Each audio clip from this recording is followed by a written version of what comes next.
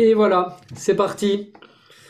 Ok, alors euh, bonjour à, bonjour à toutes et à tous. Et donc pour cette conférence sur l'approche euh, Epona Quest. Et, euh, donc tout d'abord, je voulais passer la parole à Eva, donc euh, Eva Colomb de l'association Drago Dolce, qui, euh, qui m'a gentiment invité donc à, à parler de, de l'approche Epona Quest en relation avec le bien-être. Donc Eva, je, je ne sais pas si tu nous entends en fait. J'ai l'impression que la connexion a été coupée. Allô, allô? Bon, je crois que Eva ne nous entend pas. Donc je vais... Euh, Eva, je ne sais pas si tu nous entends. J'ai l'impression que la, la connexion a été coupée. Non, c'est moi qui ai fait une fausse manœuvre, je suis désolée. Ok, voilà, donc euh, merci beaucoup pour, euh, pour euh, l'invitation à cette conférence sur l'approche EponaQuest. Est-ce que tu, tu pourrais nous, nous prendre quelques minutes pour nous dire un peu où nous sommes et, et pourquoi vous avez décidé d'organiser ce salon du bien-être animal et des humains avec l'association Drago Dolce? Oui, c'est l'association Equidolce. C'est l'association Equidolce, ok. Equidolce, oui. Equidolce qui euh, s'occupe de, de- d'équidés, comme son nom l'indique. Oui, On récupère des équidés qui sont soit orphelins parce que leur humain est décédé et que la famille ne sait pas quoi en faire, ou alors on récupère aussi des équidés qui sont censés partir à à la boucherie.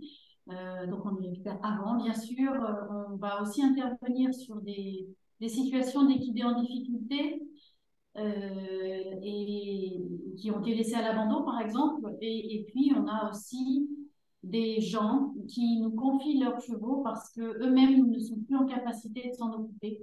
Et ils préfèrent euh, qu'une association comme la nôtre les prenne en charge euh, et, puis les remette bien dans leurs sabots avant de retrouver des familles idéales. Et on, dans nos métiers euh, respectifs, euh, à nous six, les co-créateurs d'Equidolce, mais aussi à travers les histoires qu'on vit avec nos protégés équidés, on se rend compte que le bien-être de l'équidé dépend aussi du bien-être de son humain et vice-versa. Et quand je parle de bien-être, ça peut être un bien-être, euh, bien sûr, émotionnel, mais aussi avec des pathologies physiques. Les deux sont liés. Moi, par exemple, le hasard, entre guillemets, a fait que mes chevaux portent le même euh, petit défaut physique que ma lignée maternelle. On a notre pied, enfin notre jambe gauche, donc le postérieur gauche, chez le cheval, dont le pied est légèrement incurvé vers l'intérieur. Et, et pourtant, le choix des chevaux, c'est pas fait en fonction de ça. Je m'en suis rendu compte après. Bref. Mais il n'y a pas que ça. On est liés vraiment en tout. Et, et donc, on a voulu faire ce salon pour euh, renseigner les personnes sur le fait qu'on est tous interconnectés et que euh, c'est pas parce qu'on va s'occuper que du bien-être de son cheval que ça ne fera pas d'impact et vice-versa. Alors, le, cheval, mais aussi le chien, le chat, parce que souvent les, personnes qui ont des chevaux ont aussi euh, au moins un chien. Et, et là, par exemple, le mien, il n'est pas bien parce que je suis pas avec lui, donc ça, je le sais, je le sens, mais, je lui envoie des petits messages télépathiques pour lui, montrer tout ce qui se passe et euh, euh, plutôt le connecter à la joie que j'ai de, faire euh, ces salons et ces conférences. Bref, c'est un honneur pour nous, en tout cas, de recevoir Sylvain Gillier aujourd'hui. Sylvain Gillier de Cheval en Conscience et qui va nous parler d'Econacquest. tout à fait. Merci beaucoup Eva donc pour, pour l'introduction et c'est un honneur pour, pour moi hein, d'intervenir euh, dans ce salon parce que je crois que le bien-être le bien-être animal euh, c'est un sujet qui est méga important pour euh, les chiens, les chats, pour, mais pour tous les animaux qui sont à côté des, des humains. Euh, là, on va beaucoup parler des, des chevaux euh, pendant cette présentation. Je pense qu'il faut pas oublier euh, les autres animaux qui sont à nos côtés, qui se, qui se sacrifient pour nous. Hein, les, bovins, euh, les, moutons, les, vaches, les, les poules, enfin, euh, tous ces animaux qui, vivent, euh, avec nous. Et évidemment, c'est des animaux qui sont élevés pour la, boucherie. Mais même, un animal qui est élevé pour la boucherie peut avoir une qualité de vie et sa qualité de vie dépend hein, bah, de, la personne qui est responsable de son élevage.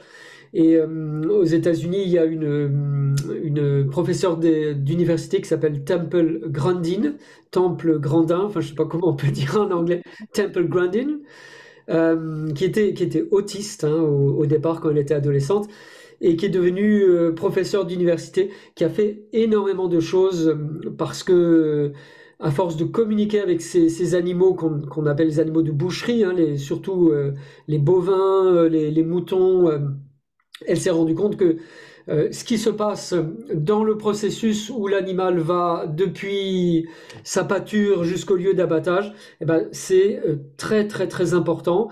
Et euh, là aussi, on peut parler de bien-être animal, même s'il s'agit eh ben d'un animal qui est destiné à la, à la boucherie. Donc, ce, ces travaux de, de Temple Grandin pour les, les, bovins, et je voulais, je voulais parler de ça parce que le bien-être animal, euh, c'est les animaux domestiques, mais c'est aussi euh, les animaux euh, dont, nous mangeons la chair qui se sacrifient pour que nous, nous puissions vivre en, tant qu'humains.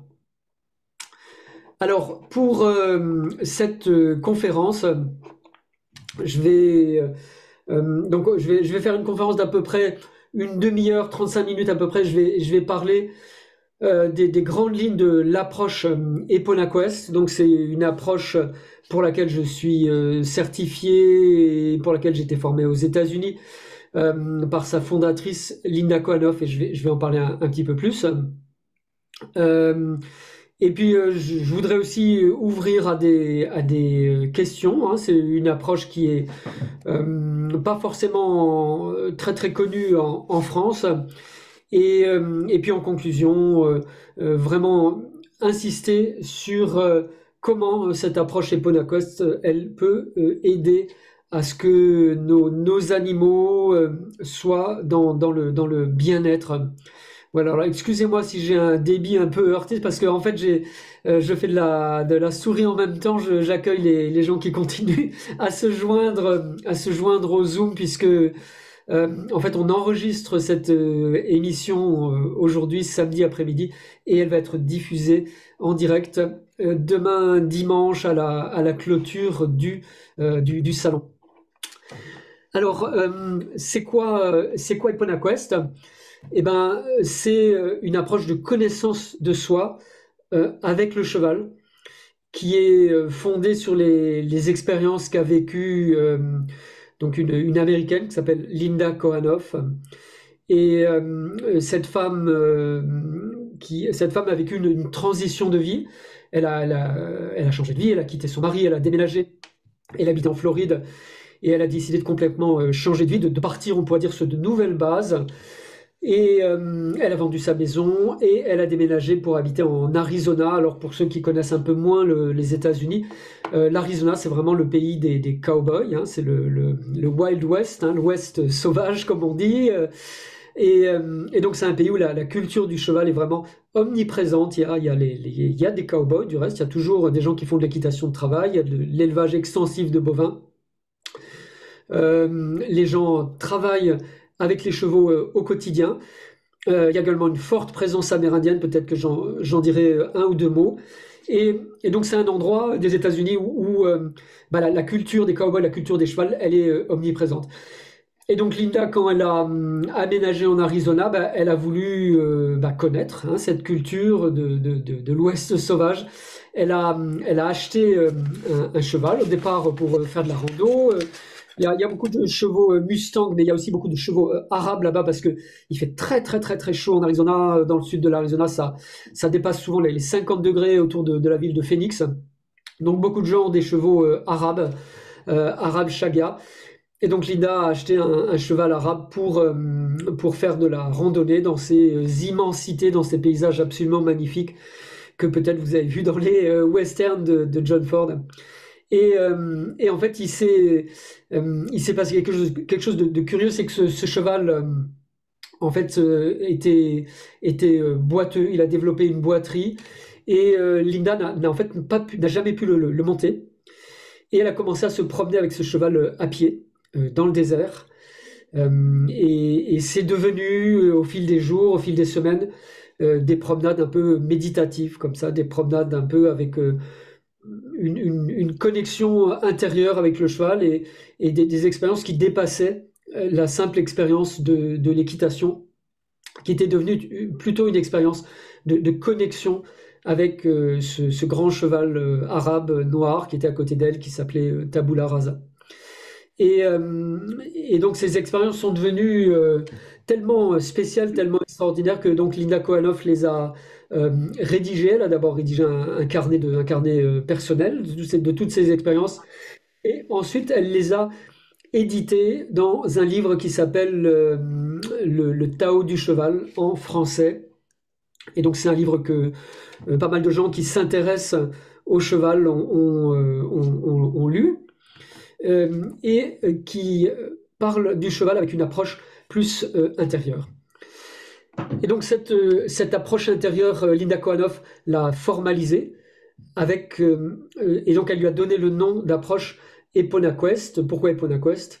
Eh ben, Pour faire référence à la déesse des chevaux, la, déesse Epona, qui était la, déesse celte des chevaux et de, l'abondance. Et donc Linda a, a, créé cette méthode de connaissance de soi par le cheval, avec euh, un certain nombre de, points euh, fondamentaux, de, fondamentaux, de, piliers, et je, vais un petit peu parler euh, de ces points fondamentaux, de, ces piliers, donc du, Tao du cheval, de ces piliers de, de, de l'approche Eponaquest. Et, donc le, premier, le premier fondement de cette approche, c'est qu'avec les chevaux, euh, c'est important d'être euh, d'être présent et d'être cohérent, d'être euh, authentique. Et, donc avec chez Eponaquest, il y a des, valeurs hein, et, c'est cette nécessité de, présence, de cohérence. ça s'est traduit par des, valeurs. Donc il y a, trois valeurs principales hein, chez, chez Eponaquest, des, des, maximes. Hein. Et la première de ces maximes, c'est que avec les chevaux, la cohérence, c'est plus important que la, conformité. Et ça veut dire que quand on est avec un cheval, c'est plus important d'être, cohérent, d'être, par exemple, euh, que son, langage non verbal soit le même que ce qu'on ressent à l'intérieur. On parle parfois aussi de, congruence. Et pour un cheval, euh, si je suis euh, un petit peu en colère parce que ben voilà j'ai eu une altercation avec ma voisine de palier avant d'aller voir mon cheval. Euh, pour le cheval, c'est mieux, c'est mieux que je lui montre que je suis en colère. Et euh, c'est mieux que je sois cohérent avec les émotions qui sont à l'intérieur de moi, euh, et plutôt que d'être conforme à ce qu'on attend de moi. Et, ça, c'est vraiment un, enseignement du cheval. Le cheval attend de nous que nous soyons congruents, que nous soyons cohérents euh, qu'on euh, qu'on exprime en fait, euh, qu'on soit présent à ce qui vit à l'intérieur de moi dans, le, moment présent en fait. Hein. Et, et c'est pas toujours évident parce que bah, il y a beaucoup de situations dans la vie où en, fait on est plus attentif à qu'est-ce que qu'est-ce que qu'est-ce qu'on attend de quel, genre d'attitude je devrais avoir? Hein, et par exemple, euh, si je suis dans, une soirée avec des amis, bah, souvent on, attend de moi bah, que je sois social, que je sois gay, que je, rentre facilement en relation. Et voilà, c'est un petit peu ce que ce qu'on attend de moi. Si je suis euh, euh, à un, on va dire, on va prendre une situation extrême. Si je suis à un, à un enterrement, on attend de moi que je sois triste, et euh, évidemment, c'est plutôt malvenu de faire des, blagues pendant un, enterrement. Et ça, c'est une situation un peu extrême, mais dans la vie, il y a énormément de situations où en fait, euh, je ne suis pas congruent. Le, j'ai une espèce de masque social, et ce masque social, euh, c'est ce que la société attend de moi. Et les chevaux, bah, eux, ils raisonnent pas du tout comme ça. Ce que le cheval euh, attend, euh, c'est euh, de, voir qui je suis intérieurement. Et le cheval va rechercher en fait la, cohérence, il va rechercher la congruence, Et c'est même aussi un principe qu'on met en œuvre dans les, sessions de médiation avec les équidés, parce que de, de, façon assez systématique, en fait, le cheval va aller naturellement accorder sa confiance à la personne qui est la plus congruente. Pas forcément euh, celle qui est la plus joyeuse ou la plus gaie ou la plus euh, sociale, mais euh, la plus congruente. Celle qui, qui est, on pourrait dire, la plus authentique par rapport à ce que elle ressent à l'intérieur à l'intérieur d'elle. Et, ça, c'est une, une, règle quand on est avec le cheval qui est un petit peu étonnante. Et par exemple, dans le milieu équestre, quand on enseigne l'équitation, on dit assez souvent euh, ne lui montre pas que tu as peur. Montre-lui que tu es le chef. Montre-lui qui est le qui est le chef, qui est dominant. Et euh, malheureusement, euh, ce n'est pas possible de cacher sa peur au cheval. C'est un animal qui ressent les émotions à distance et qui va toujours donner sa, sa préférence, qui va toujours donner sa confiance à une personne qui est, congruente avec ses émotions. Et si euh, le cheval me, fait peur, si j'ai peur d'un cheval, il vaut nettement mieux euh, lui montrer, lui montrer que j'ai peur de lui. Pour lui, ce sera, euh, ce sera plus clair, ce sera plus congruent, et il sera plus disposé à accorder sa, confiance en fait. Hein. Et donc c'est un, ça c'est un, principe de, de, de hein, c'est le, premier principe, la cohérence avant la conformité. Voilà. Euh, alors, il y a, un deuxième principe qui, est un petit peu, euh, qui dérive un peu du premier, euh, qui, parle de l'authenticité. Et les chevaux aiment l'authenticité. ils sont, ce sont des animaux curieux. Ils, ils aiment découvrir. Ils n'aiment pas forcément qu'on soit parfait. Ils n'ont pas besoin qu'on réussisse du premier coup, en fait. Euh, ils n'ont pas besoin que mon, geste soit parfait, euh, mais par contre, ils sont sensibles à l'authenticité. Et euh, dans les, concours de saut d'obstacles, hein, par exemple, souvent on, apprend aux cavaliers à, réaliser des foulées parfaites avant d'arriver à l'obstacle et puis de, de, faire un, mouvement parfait. Mais en fait, c'est pas tellement ce que le cheval recherche. Hein. Et, en fait, les gens qui sont à un niveau, euh, un niveau euh, olympique, au niveau du championnat de France en, équitation, euh, eh ben c'est souvent des gens qui ont appris qu'il vaut mieux être authentique avec son cheval, même avec, avec les imperfections, avec les erreurs, avec les, les, essais qu'on fait, avec les doutes qu'on a. le cheval, ça ne lui pose pas de problème. qu'on ait des doutes, qu'on fasse des erreurs. Mais par contre, ce qu'il veut, euh, c'est que je, sois authentique. Pour lui, c'est très important. Et euh, c'est important aussi parce que, on, le verra un petit peu après, euh, le cheval a besoin d'authenticité pour, être sûr que la personne qui est à côté de lui, ce soit un membre de son troupeau et ce ne soit pas un prédateur. Et pour des raisons assez évidentes, hein, les prédateurs ne, disent pas leurs intentions. Et euh, si le, lion, là, dans la, savane, euh, il disait à, tous les zèbres que ça y est, il va, il va se mettre en chasse et, il va commencer à, chasser, bah évidemment, euh, les, les, zèbres s'enfuiraient, il n'y aurait plus de lions depuis longtemps parce qu'ils seraient morts de faim.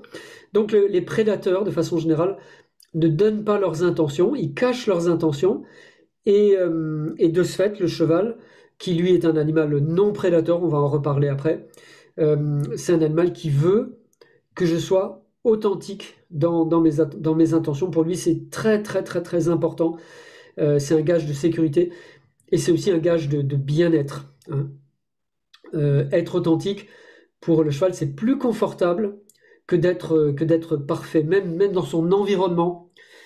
il, vaut mieux, il vaut mieux avoir un environnement avec un, gardien, euh, un responsable du cheval qui est, authentique dans tout ce qu'il fait quand, il va, quand il, vient voir le cheval, etc. Plutôt qu'une super écurie euh, parfaitement nettoyée, parfaitement euh, automatisée. Le cheval est sensible à, l'authenticité. Pour lui, c'est très important. et donc ça, c'est le deuxième principe. L'authenticité avant la perfection. Ne, pas vouloir forcément réussir du premier coup, mais dans, ce qu'on fait, même quand on fait des erreurs, être authentique. Pour, pour, le cheval, c'est important. Et alors, donc il y a une troisième valeur chez PonaQuest. et cette troisième valeur, c'est que la, curiosité et aussi l'adaptabilité, c'est toujours mieux que la méthodologie quand on est avec un cheval. Le cheval, c'est un animal qui est, curieux et qui, s'adapte facilement à beaucoup d'environnements. Et euh, les chevaux existent depuis plus de 60 millions d'années. Ils se sont adaptés à toutes sortes d'environnements. Ils ont vécu euh, toute une glaciation où il faisait moins 45 pendant euh, presque 10 000 ans. Ils se sont adaptés.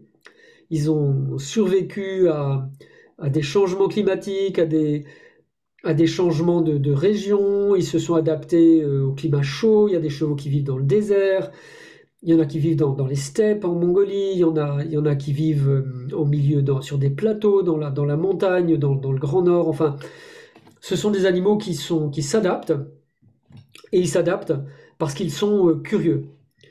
Et euh, quand on s'occupe de chevaux, quand on est responsable de chevaux ou quand on travaille avec des chevaux professionnellement, le, être adaptable, être curieux, c'est toujours mieux que euh, d'avoir une méthodologie euh, qui est huilée euh, et, qui roule parfaitement.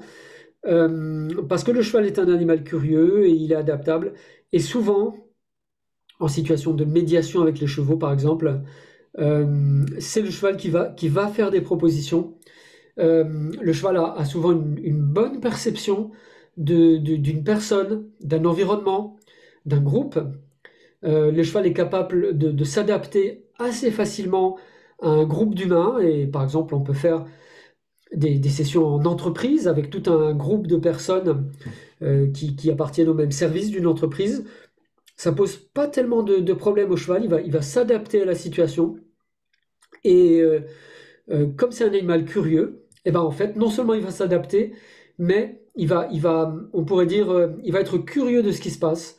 Il va comprendre ce qui se passe. C'est un animal qui comprend très vite ce qui se passe dans la dynamique des, groupes hein, et euh, il va faire des euh, propositions.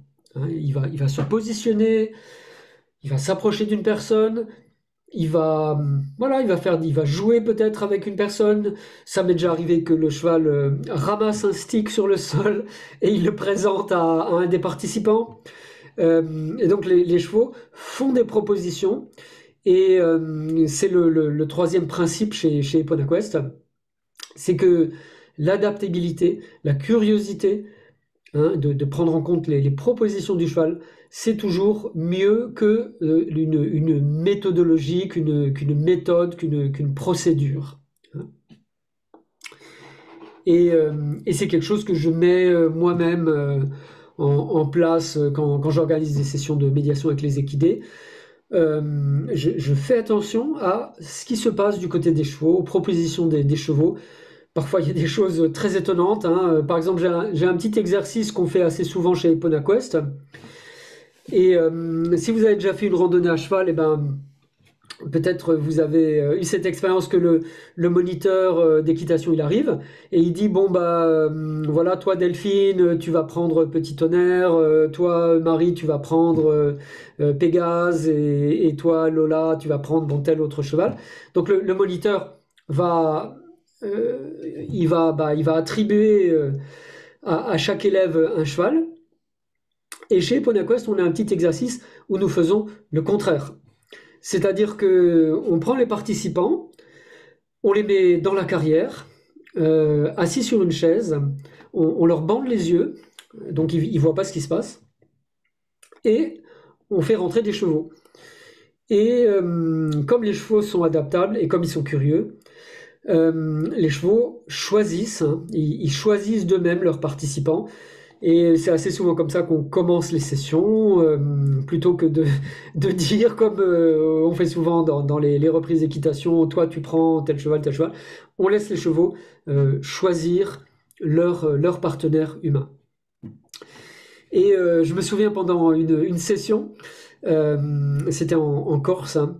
Et, on avait donc trois, quatre chevaux à qui donc on allait proposer de, choisir les humains. Et, donc les humains étaient assis sur leur chaise au milieu de la carrière. Et puis tout d'un coup on entend un, bruit. Et en fait il y a, un des chevaux euh, qu'on n'avait pas sélectionné a priori pour l'exercice. Il a, cassé sa clôture en fait. Il, a sauté au-dessus de sa clôture. Et, il est venu de lui-même, sans qu'on lui demande, et il est venu mettre sa tête sur les genoux d'une des personnes qui était assise dans la carrière, parce que voilà, ce cheval avait euh, compris l'exercice, même s'il n'avait pas été sélectionné. Il est, sorti de son enclos et il est, rentré dans la carrière pour choisir son humain. Quand on voit des choses comme ça, c'est assez, euh, c'est, assez bluffant. Mais euh, c'est un peu ce qui se passe quand on laisse justement ce choix aux chevaux, qu'on, respecte cette curiosité, cette adaptabilité, plutôt qu'une, méthodologie, qu'une, procédure. Euh, voilà, donc je, voilà donc pour les, valeurs des Ponaquest, je, vais les, répéter. Euh, donc première valeur, la cohérence avant la conformité. Euh, la deuxième, c'est l'authenticité, hein, avant la, perfection. Et la troisième, c'est l'adaptabilité, la curiosité, avant la méthodologie. Et donc euh, maintenant, je voudrais vous parler d'un pouvoir des chevaux que, qu'on, identifie euh, dans l'approche Eponaquest et, et qui est vraiment euh, important à connaître quand on travaille avec les chevaux. Et euh, ce pouvoir des chevaux, ça s'appelle le pouvoir non prédateur, le pouvoir non prédateur des chevaux. Et on utilise ce mot non prédateur à défaut de mieux, parce que nous-mêmes, en tant qu'humains, nous sommes des prédateurs, et donc, nous savons ce que c'est que le pouvoir prédateur. On a, on a même un mot qui, qui, qui, qui, euh, explique ce que c'est qu'un prédateur. Mais par contre, nous n'avons pas de mot qui explique ce que c'est qu'un non-prédateur. Donc, euh, on, a ce, cette négation parce que le mot n'existe pas dans le langage des humains. Le, mot non-prédateur n'existe pas dans aucune langue d'ailleurs, que ce soit l'anglais, le français ou les autres langues. Il n'y a, a, a, pas de langue moderne où il y ait ce mot euh, non prédateur. Hein. Parfois, on, dit que c'est le pouvoir de la proie. Moi, moi c'est un mot que j'aime pas beaucoup utiliser. On, dit parfois que le cheval est une proie et que, mais c'est pas tellement vrai en fait, parce que hum, dans euh, dans par exemple, dans leur habitat d'origine en, Mongolie, en Sibérie, euh, où, il y a des prédateurs, hein, il, y a, des loups, mais il y a, il y a pas tellement de, prédateurs qui vont s'attaquer à, un troupeau de chevaux euh, qui est constitué. Et euh, je pense à ce, film de, Jean-Jacques Hadot, je ne sais plus le, titre, euh, donc film animalier où on voit, on voit des, loups en fait qui, qui chassent, qui chassent une meute de, chevaux sauvages. Et, en fait, les, les loups ne chassent jamais une meute, une meute de, enfin un troupeau de cheval quand les chevaux sont ensemble. Quand, les chevaux sont en troupeau, en fait, ils n'ont pas peur des prédateurs parce qu'ils n'ont pas de prédateurs. Il n'y a, pas de prédateurs qui s'attaquent à euh, un, troupeau de, troupeau de chevaux. Et donc, euh, moi, j'utilise pas tellement le mot proie parce que en troupeau, euh, le cheval, cheval n'est pas une proie. Il, n'a pas de prédateur. Il devient une proie uniquement quand il est isolé. Et, là, on est déjà euh, un petit peu dans, dans l'action du prédateur. On est un peu dans le pouvoir prédateur qui isole le cheval de son troupeau, donc c'est plus, tout, plus tout à fait pareil. Voilà, donc euh, le, la proie, moi j'utilise pas tellement ce mot de, proie, et, euh, et, donc on n'a pas de mot en français pour ce pouvoir non prédateur, donc faute de mieux, on, va parler de, du pouvoir non prédateur des, chevaux. Et je crois que euh, pour comprendre le pouvoir non prédateur, euh, que souvent on ne connaît pas, euh, il faut le mettre en, faut le mettre en, balance, en, miroir avec ce que c'est que le pouvoir prédateur. Et c'est très important aussi parce que nous-mêmes, en tant qu'humains, nous sommes des prédateurs et nous appliquons le pouvoir prédateur souvent sans en avoir conscience. Et ça, ça, pose vraiment un gros problème vis-à-vis du bien-être animal pour les animaux qui sont non prédateurs. Et donc je parle des chevaux, évidemment, hein, qui sont des animaux non prédateurs, euh, mais il y en a d'autres. Hein. Il, y a, les, lapins, par exemple, les, animaux domestiques. Euh, tous les rongeurs sont des animaux non prédateurs. Et, quand on, s'occupe d'animaux non, prédateurs, euh, c'est quelque chose. Faut, faut vraiment comprendre que en agissant en tant qu'humain avec son pouvoir prédateur, on met l'animal dans une situation de mal-être. Et même si on a des bonnes intentions. Et, euh, donc je, crois vraiment euh, que c'est important quand on parle de bien-être animal de comprendre déjà qu'est-ce que c'est que ce pouvoir prédateur. Euh, d'abord, il faut dire que c'est une caractéristique de l'humain, de l'humain dans sa version colonisatrice, dans sa version conquérante. Et tout le monde ne se voit pas forcément comme un, conquistador ou comme un colonisateur. Euh, disons que euh, collectivement euh, en France, par exemple, nous avons un passé ancestral de, colonisation hein, qui, on peut dire que nous portons en tant que nous portons en tant que passé historique. Hein. voilà, et donc prendre conscience de ça, c'est déjà, je pense, une, première étape, surtout quand on travaille parfois avec des cultures équestres euh, qui, qui, qui, ne sont pas, qui ne sont pas des cultures occidentales. Alors ça peut être dans le Maghreb, ça peut être, euh, euh, ça peut être les cultures des, peuples premiers en Afrique, ça peut être les cultures amérindiennes, qui ne sont pas des, cultures colonisatrices, qui ne sont pas des cultures conquérantes. Hein. Ce, ce, pouvoir prédateur, c'est un peu le signe, de, le signe V. Hein. v comme la, la flèche, V comme la victoire, V comme la vendetta, V comme la, vengeance. Et, tous ces, signes hein, de euh, rechercher la victoire, rechercher la vengeance, ça c'est vraiment des caractéristiques du pouvoir prédateur. Et hum, ça n'est pas que nous devrions absolument être des non-prédateurs. Le, pouvoir prédateur existe dans la nature. Hein. il y a des prédateurs dans la nature. Mais euh, pour le bien-être de nos animaux, c'est très important de savoir différencier quand j'applique le pouvoir prédateur et quand j'applique le pouvoir non prédateur. Et par exemple, avec, euh, avec les chiens ou avec les, loups, hein, surtout les chiens qui sont proches des loups, on, peut appliquer le pouvoir prédateur. Le, chien, euh, surtout les races qui sont proches des loups, c'est un animal qui comprend le pouvoir prédateur et qui a besoin d'ailleurs du pouvoir prédateur. Et, mais les chevaux, c'est pas pareil le, cheval est un animal non prédateur.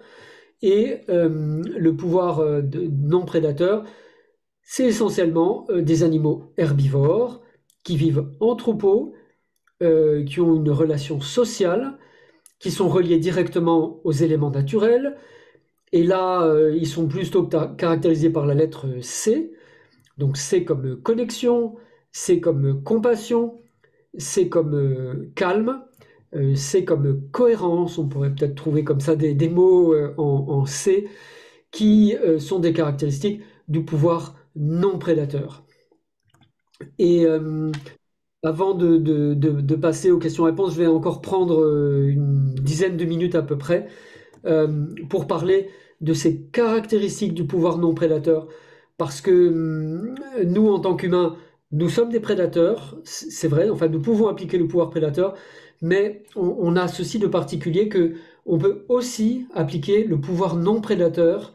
Et, en fait, nous sommes à une espèce un peu particulière parce que nous sommes à la fois des prédateurs et nous sommes à la fois des non prédateurs. Et par exemple, quand on regarde la dentition des, humains, eh ben, on a une dentition qui est à la fois euh, une dentition de prédateur, on a des, canines, mais on a aussi une dentition de non prédateur. On a des molaires, on a des voilà, donc on a des caractéristiques à la fois de prédateurs, mais aussi de non-prédateurs. Et encore une fois, c'est important de différencier euh, ces deux pouvoirs pour le, bien-être en fait des animaux avec lesquels on est. Euh, parce que bah, appliquer le pouvoir non prédateur avec un, animal prédateur, ça va, ça va pas trop le faire. Hein. c'est même pas très conseillé hein, de le faire, par exemple avec un, avec un chien qui est, qui est proche, qui est proche du, du loup ça va pas trop le faire d'appliquer le, pouvoir non prédateur. Et inversement, appliquer le pouvoir prédateur avec un animal euh, herbivore qui vit en troupeau, qui vit avec du pouvoir non prédateur comme le cheval, bah c'est pareil, ça va mettre cet animal dans, un profond sentiment de mal-être, hein, de défiance, de mal-être, de crainte, euh, et, ça va procurer même des, des symptômes physiques. Donc c'est vraiment important, vraiment important de, connaître, je crois, cette notion Eponaquest. Qu'est-ce que c'est que le pouvoir prédateur? Qu'est-ce que c'est que le pouvoir non prédateur? Et, euh, donc pour, euh, pour terminer, je vais, je vais parler de quelques caractéristiques du pouvoir euh, non prédateur. Et puis on pourra en parler également avec les, les, questions, les, les questions-réponses euh, à la suite de, à la, suite de la, présentation. Donc, le, alors j'en profite pour dire bonjour à ma collègue Arlette qui vient de nous rejoindre. Bonjour Arlette. Euh, donc, les caractéristiques du pouvoir non prédateur. Euh, le pouvoir non prédateur, il soutient les besoins de l'individu et du groupe simultanément. Et inversement, le pouvoir prédateur, lui, il va euh, vivre aux dépens euh, des ressources naturelles. Donc euh, le pouvoir prédateur va tuer, chasser, mettre en équilibre les ressources disponibles avec le groupe. Hein. Donc c'est n'est pas la même chose que les non-prédateurs qui, eux, soutiennent les besoins de l'individu et du groupe simultanément. Par exemple, dans un troupeau de chevaux, euh, naturellement, les, chevaux soutiennent les individus plus faibles, ils soutiennent les, euh, ils soutiennent les, poulains, par exemple, et les, pouliches. Et, euh, et, en faisant ça, ils soutiennent également la force du groupe.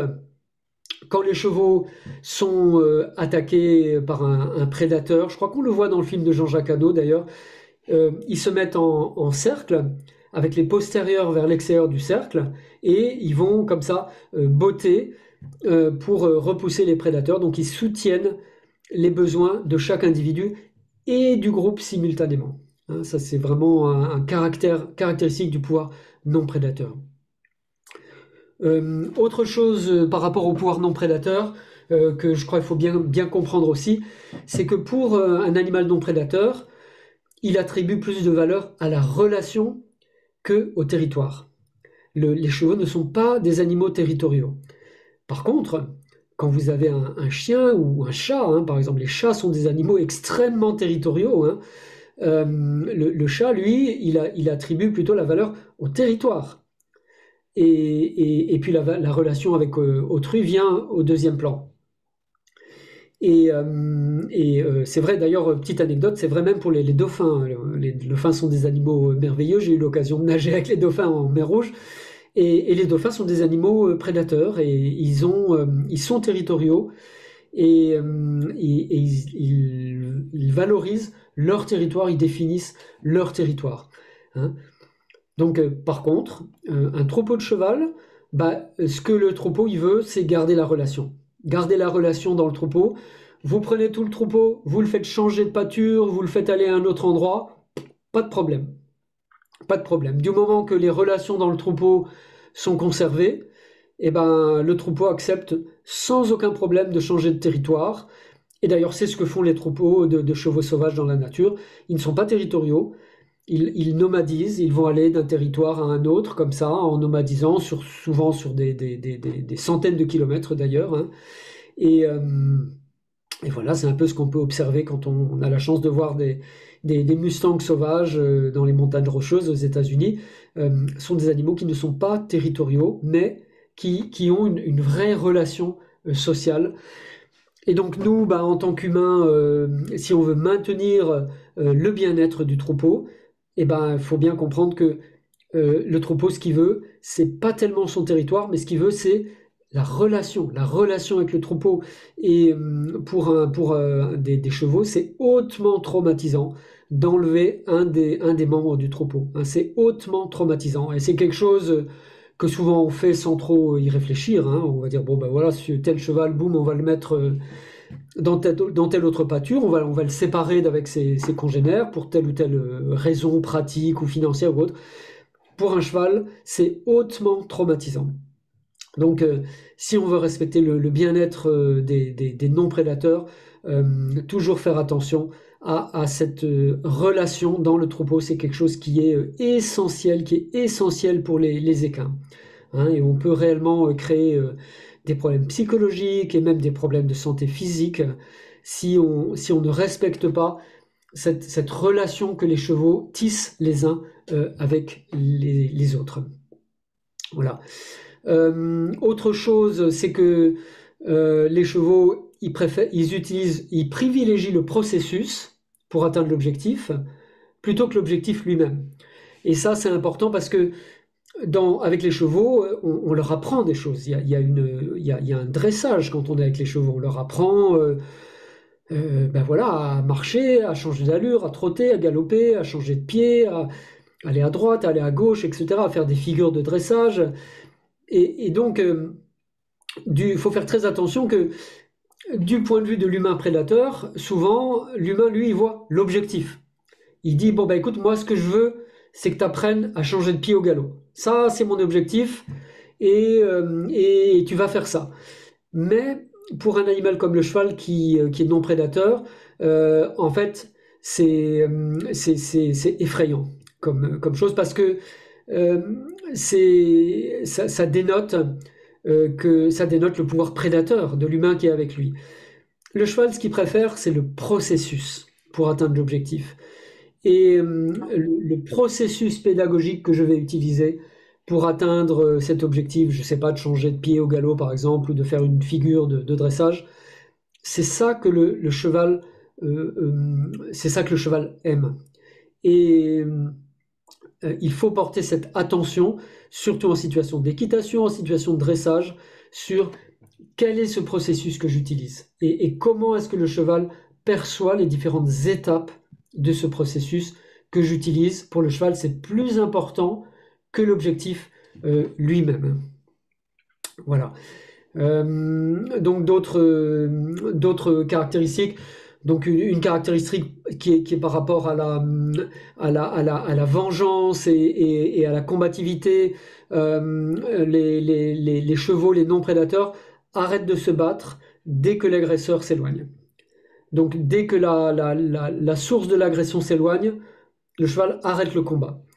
Et inversement, un prédateur, lui, euh, cherche à se venger. Hein, les, lions, par exemple, organisent des embuscades euh, pour se venger quand ils ont été agressés, euh, mais les, chevaux ne font pas ça. Les, chevaux sont dans une, philosophie, on pourrait dire, de vivre et laisser vivre. ce ne sont pas des animaux qui se vengent, ce sont des animaux qui sont plutôt dans le, non-conflit. Hein. et dès que l'agresseur s'éloigne, même quand c'est une, bataille d'étalons par exemple, eh ben, euh, dès que l'agresseur s'éloigne, dès que l'étalon euh, agresseur s'éloigne, les chevaux arrêtent de se battre. Donc ils ont une orientation de vivre et laisser vivre, une orientation d'aide mutuelle, une orientation également de, sécurité collective. Hein. il privilégie vraiment la sécurité collective.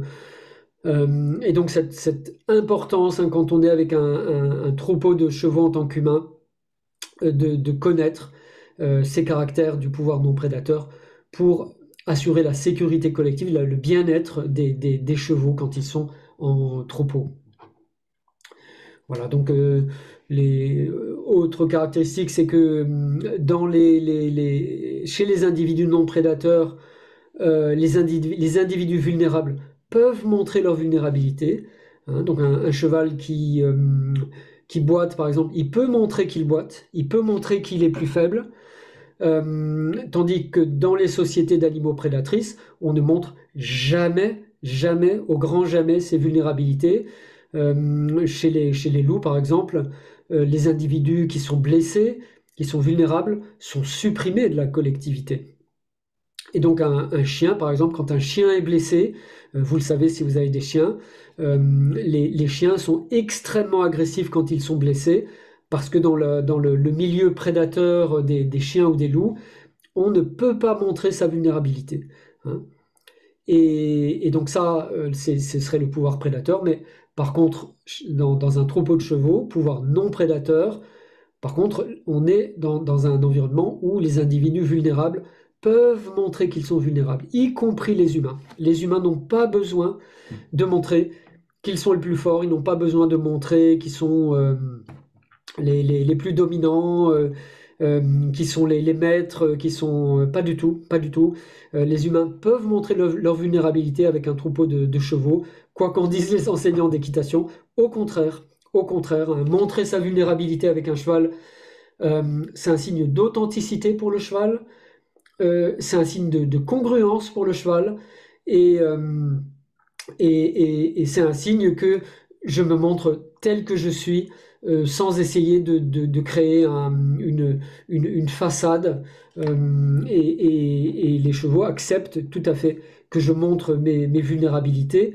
Euh, c'est quelque chose qui est vraiment important quand on est avec des, chevaux, euh, surtout en situation où on a des chevaux, comme c'est le cas dans, l'équitation, quand dans, le, dans l'association Equidolce, donc on a, des chevaux euh, qu'on, récupère, hein, qui sont dans des, situations peut-être difficiles, des situations de vulnérabilité. Le, cheval n'a pas forcément de problème avec la, vulnérabilité, il n'a pas de problème pour la montrer, et euh, parfois, il la montre parce que dans la société, dans le troupeau, euh, le, cheval sait qu'il va obtenir du soutien de la part des autres membres du troupeau. Et c'est pour ça qu'il montre sa vulnérabilité, qu'il peut montrer sa, vulnérabilité. Donc quelque chose à, je pense, à bien savoir, à bien avoir euh, à l'esprit, dans le cœur, quand on est, quand on est avec un, troupeau de, chevaux. Hein. cette notion de, que les chevaux peuvent s'appuyer les uns sur les autres. Et voilà, donc pour, euh, pour euh, terminer un peu cette euh, présentation, donc les chevaux, ce sont des animaux qui gardent leur énergie pour les urgences. Et, donc ils ont vraiment cette notion que si on leur demande de dépenser leur énergie pour quelque chose qu'ils ne perçoivent pas comme important, euh, ils vont pas tellement donner leur confiance. Hein. Et, et c'est parfois un problème dans, l'équitation où on va demander au cheval des efforts euh, qui, dépassent éventuellement, euh, qui dépassent éventuellement ses capacités, euh, sans que le cheval comprenne exactement pourquoi, pourquoi il devrait fournir cet effort. Naturellement, le, cheval, en fait, il garde son énergie pour les moments où il en a vraiment besoin. Et, ça, c'est toute la discussion, en, plutôt en équitation, de ce qu'on appelle l'impulsion en équitation, c'est-à-dire d'avoir un cheval qui est, disponible et qui a de, l'impulsion pour aller vers l'avant quand, euh, quand je lui demande. Hein. Et, ça veut dire que ma, demande va être vue comme légitime par le cheval et elle va pas être vue comme une dépense euh, complètement, euh, complètement inutile d'énergie. Et donc c'est quelque chose qui est important aussi quand on a des, chevaux qui sont en situation de, soutien, qui ont, été, euh, été récupérés, qui ont été abandonnés par leur propriétaire. Naturellement, le cheval, en fait, il va garder son énergie, il va, il va parfois pas beaucoup se mouvoir, justement pour récupérer, pour garder son énergie euh, au cas où il en aurait euh, vraiment besoin. Et, voilà, et donc pour terminer un peu cette présentation autour du pouvoir non prédateur, euh, je voudrais dire que les chevaux mettent l'accent sur la, coopération. Euh, sont des animaux qui attendent vraiment que l'on crée une, relation de coopération avec eux euh, et, pas de compétition. Hein. Et, encore une fois, là, il faut faire attention à ce que le pouvoir prédateur, lui, il est basé sur la compétition, sur la force, sur l'usage de la force. mais quand on est avec un cheval, en fait, ce que le cheval attend, c'est de créer un partenariat, de créer une coopération avec lui, euh, et, quelle que soit la situation, hein, qu'on vienne simplement pour euh, lui donner à boire dans, son box, dans son, dans son paddock ou dans, dans, le, dans la prairie où il se trouve, ou qu'on soit en situation d'équitation, hein, qu'on aille en, balade avec le cheval, ou qu'on fasse du dressage avec le cheval, qu'on saute des obstacles avec le cheval. ce qui est important, ce que le cheval attend, c'est de créer un, partenariat, une coopération. Et, donc, créer cette coopération, bah, c'est tout un, art. Hein, c'est tout un, art. c'est entre autres l'application des, valeurs qu'on a vues, la, cohérence, la, congruence, l'authenticité. Et voilà, c'est un petit peu en appliquant euh, ces valeurs, ces valeurs de, partenariat, que je crois on, arrive à créer euh, plus de bien-être, plus de bien-être pour les, chevaux qui nous sont confiés, pour les chevaux qui sont, confiés à notre, garde. Donc voilà un peu ce que je voulais dire pour cette, euh, cette présentation. Hein, ça, fait, ça, fait, ça fait déjà 45 minutes à peu près. Donc, euh, ce que je voudrais, euh, ce que je voudrais maintenant peut-être, c'est euh, ouvrir à des, à des questions. donc, je vais remettre les pains. Voilà, je vais remettre en avant Eva. Et donc également les personnes qui sont, qui sont dans, la, dans la salle sur Zoom. si, vous avez des, si vous avez des questions, des remarques, on peut prendre euh, quelques, quelques minutes avant, le, avant la clôture de la conférence pour euh, un échange, un échange questions-réponses. Et donc, encore une fois, je vous remercie pour euh, votre attention, pour, pour, pour cette, cette conférence. Moi, mon, mon, vœu, c'est vraiment que quand on soit avec des chevaux, il y, ait plus de confiance, plus de partenariat et plus de, de bien-être avec eux. Merci beaucoup, Sylvain. Oui, nous avons des questions dans la salle peux parler le plus fort possible. J'ai euh, Est-ce que je peux vous demander de vous rapprocher un petit peu parce que je vous entends pas en fait? Euh, ouais, moi j'aurais souhaité savoir à quel point votre propos et celui de Linda Kohanov dont j'ai lu le livre peut être euh, transposable aux zen et aux hybrides parce qu'en ah. termes éthologiques, ils sont quand même sacrément différents. Oui, oui, c'est vrai. Donc voilà. Ok, super. Merci beaucoup pour la question. Euh, donc Linda a écrit pas mal de livres, je crois qu'elle doit être au sixième maintenant. Et, mais j'y pense que vous faites référence au livre Le, Tao du cheval, en fait. C'est ça, d'accord. Euh, Sylvain, excuse-moi de t'interrompre, nous n'avons plus que deux minutes. Après, il y a l'intervenant suivant qui vient. Ok, parfait. Je vais répondre rapidement à la question sur les, euh, les, les ânes et l'asinothérapie, hein, parce que c'est vraiment une chouette question, et, et également les mulets ou les hybrides. Hein ou les, les orses, mais enfin bon là c'est un peu spécial. Euh, mais donc les, les, ânes, oui, oui, ça c'est vraiment, vraiment une question. Donc euh, les ânes sont des animaux non prédateurs, ça c'est sûr, mais euh, ils vivent dans un milieu de montagne. Ils vivent pas dans un milieu de steppe. Donc ils ont aussi, ils vivent en troupeau, mais par contre leur réaction, elle va être différente. Hein. Et autant la réaction du cheval quand il est en troupeau, ça va être de déplacer le troupeau, parce que généralement le cheval il est dans, une steppe, et donc il a de l'espace. Autant pour les ânes qui sont euh, souvent sur des plateaux rocheux, sur des régions de montagne, sa, réaction ça va être de, constituer le troupeau, mais euh, en fait il va, plutôt s'arrêter. Hein. Il va s'arrêter, il va observer, il va essayer de se connecter, mais il va pas forcément se mobiliser. Donc ça c'est la principale différence. Hein.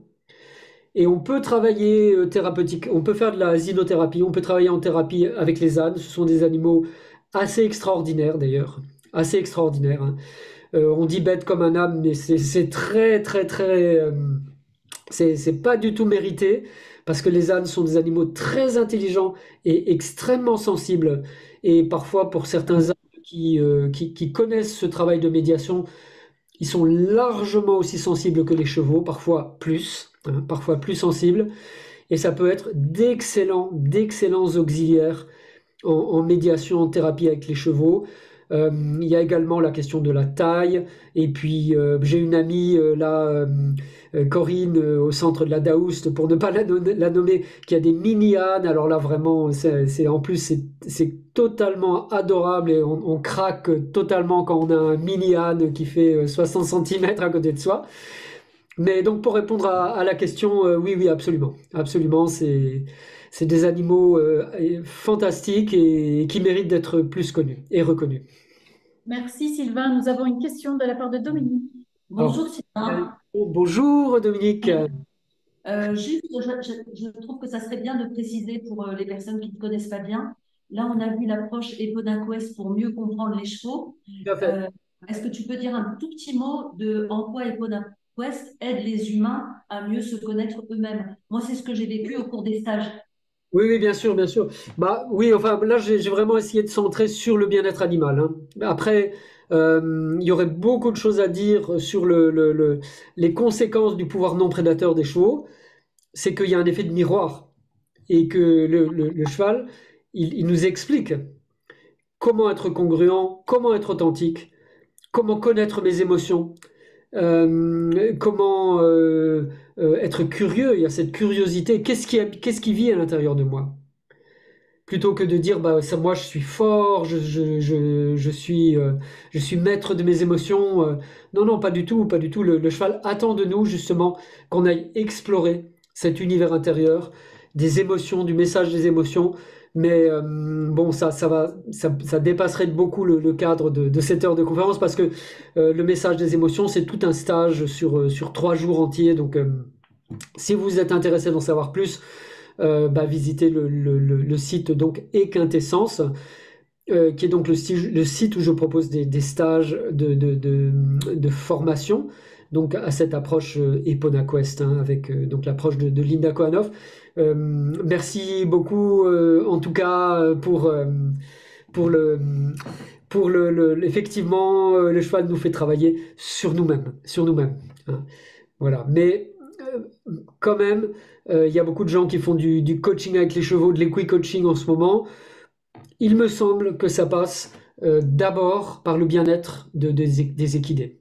C'est d'abord ça, c'est d'abord ça, le bien-être des chevaux qui sont avec nous, et puis après le bien-être des humains, et puis le, on pourrait dire l'apprentissage, hein, la connaissance de soi euh, des, des- des humains. Merci beaucoup, Merci. Sylvain. J'ai particulièrement adoré le moment où tu expliques que ce sont les chevaux qui vont choisir les gens. Moi, ça m'a ému aux larmes. Tu vois, je pleurais, j'étais dans le fond et je pleurais. Merci, c'est passionnant. J'aimerais tellement pouvoir t'écouter plus longtemps. On peut retrouver tes interventions sur le site Cheval en Conscience, je suppose. Absolument, absolument. Il y a donc une plateforme collaborative que j'ai créée suite au sommet euh, Chevaux Ménateurs, Chevaux Guérisseurs de décembre dernier. Plateforme co- collaborative qui a plus de 1000, euh, 1000 membres, 1070 membres, je crois maintenant, où on peut retrouver de nombreuses interviews, des groupes de discussion. Euh, il y a une partie qui est euh, en accès gratuit. Il suffit de devenir membre. Vous, vous demandez sur le site, vous tapez Cheval en Conscience sur Google, vous allez tomber sur le site. Et euh, à partir de là, euh, vous allez de- demander à devenir membre du site. hein. Il y a une petite vidéo qui explique comment. Et vous avez des interviews qui sont accessibles gratuitement.